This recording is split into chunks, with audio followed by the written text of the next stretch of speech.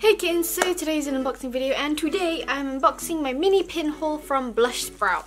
Now I ordered this back in April?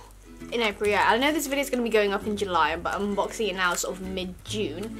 But yeah, I ordered this in April, which was pre-orders for May, but there was like a de delay because there was like a factory defect with them, which is why I have only gotten it now. But I got three pins. I got two Ghibli pins and one from my latest favourite manga.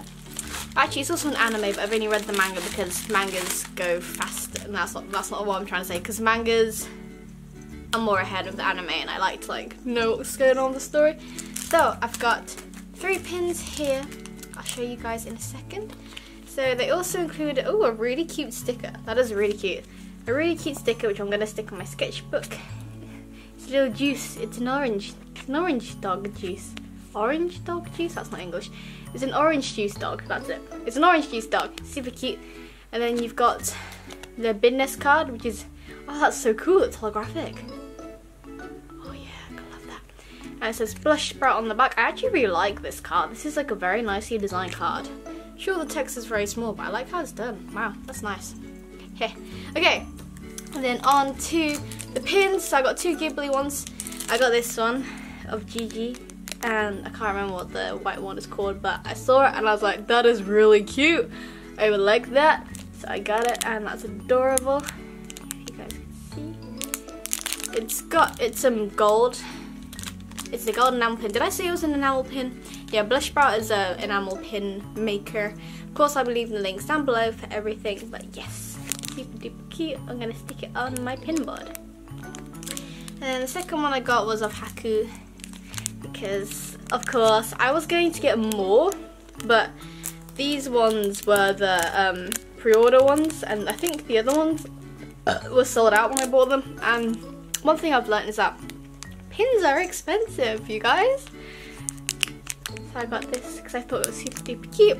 I'm kind of tempted to maybe make pins at some point totally could and then the last one I got was this sort of rainbow holographic sort of thing. Not rainbow holographic, but it's sort of duochrome, chromie. It's a chromie type of Dia from Houseki no Kuni, which is Land of the Lustrous.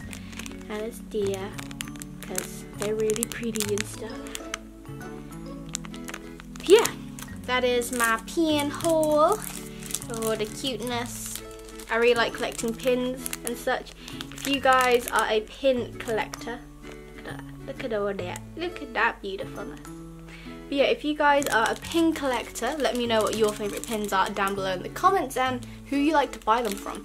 I'm going to have to get a bigger pin board soon because I also pin my shakers onto my pin boards. But super cute. Super cute. I like that. And my juice dog.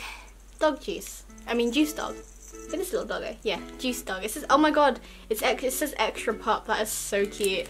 But yes, don't forget to give this video a big thumbs up. I know it was a small mini video, but I like sharing my things with you because, you know, this channel is also sort of a diary of mine, kind of like a video diary of the things I've done, etc, etc.